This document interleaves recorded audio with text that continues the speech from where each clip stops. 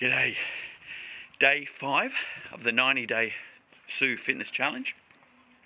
And this vlog is dedicated to my good friend Ryan Ross. He uh, motivated me to actually go out bike riding today. He created a GIF uh, a few days ago with his wife, so as part of his routine for the challenge. So I thought I'd do the same. So I'm going to do that this weekend. This is my my beast. Funny thing is, I bought this in January, and it's a $1,500 racing bike, which I bought for 500 bucks and I haven't actually ridden it until today. So I hope I don't cause uh, injury. Anyway, um, see how I go.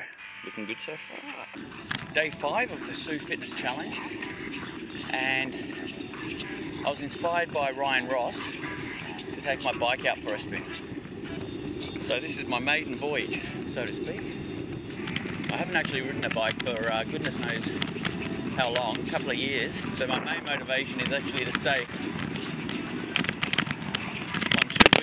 in a case of spontaneity, I bought this bike off a work colleague. Her son was selling it. He was a triathlete, just wanting to get rid of it, I guess. A purpose-built racing bike worth $1,500, which uh, I purchased for $500. This is the first time I've ridden it since January. Rider on your right. Thank you. So I'm going for a ride through Tabasco Park. Same park I went for a run with Tierney the other day, but I'm going to go for a little bit of a longer ride, obviously. I was going to do 10 kilometres, but I'll just see how I go. Like I said, this first week is literally me getting back on track, so I don't want to overdo it. Everything I'm doing so far, I'm taking it easy because I don't want to burn myself out and get too sore to the point where I then don't want to do anything the following week. So steady as she goes. So far so good, but I've only travelled one kilometre so far, so that's nothing much. Although having said that, starting to feel the burn in my legs.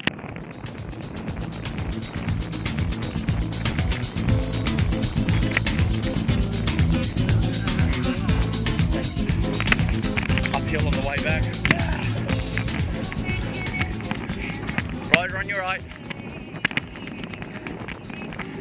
G'day. I'm at the four kilometre mark, approaching 5Ks. I think I'll stop and have a drink break at the five clicks mark.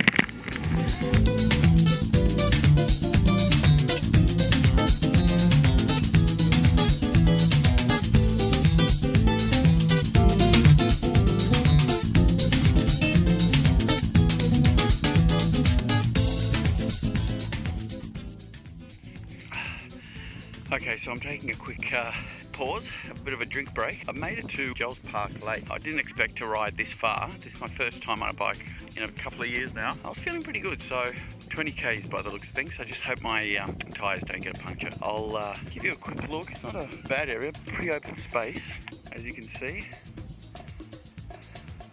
Wide open space. That's what I love about where I live here in the southeast of Melbourne. Uh, lots of open space. We're only 20 kilometres 30 kilometres away from the city. Yeah, like I said, I wasn't expecting to uh, ride my bike for as long as this, so 20 kilometres I'm pretty happy with. Yeah, you're feeling great.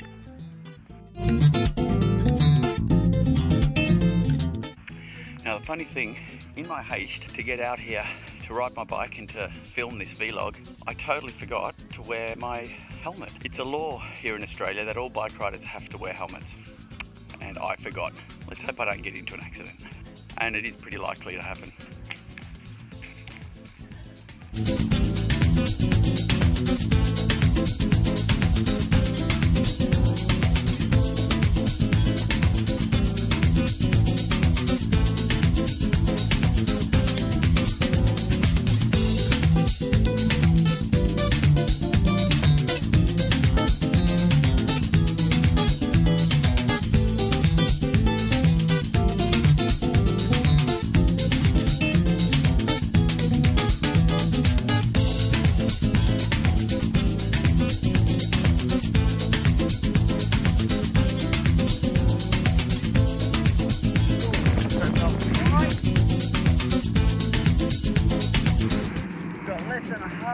But this hill is going to kill me. Oh.